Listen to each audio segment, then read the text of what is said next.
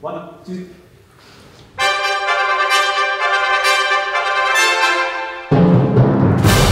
We are recording the fourth album of my orchestral music with the London Symphony Orchestra at full strength, 90 players, so it's quite large, particularly in winds and brass and percussion, and a full 50 strings here at Henry Wood Hall. The repertoire consists of eight different works, which I've composed over the last number of years. You know, there's a great American symphonic tradition that I think very much informs the music that I compose. And three of the most important figures in that tradition are Aaron Copland and Leonard Bernstein and John Williams, all among my musical heroes as an American composer conductor. They, in fact, have all worked with the London Symphony Orchestra. And so I think there's a really interesting tradition of being an American musician in London and having an opportunity to bring music which is very American in character but to record it with this great British orchestra, to record it with the LSO.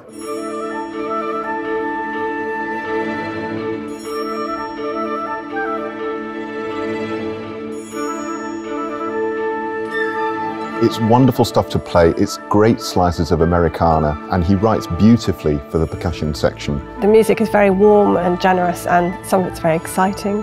Our parts are written very, very well. It's very energetic.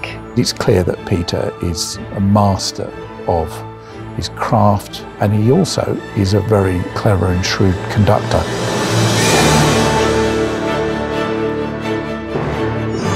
Say it's wonderful to see a composer in the middle conducting his own music and really responding to what we as players are doing.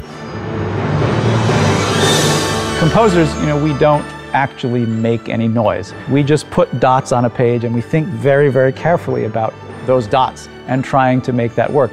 But it's these wonderful musicians who actually bring it to life. And when I, as the conductor, have the opportunity to set the tempi exactly the way I want, to make changes in articulation and phrasing, then there's something very direct about it.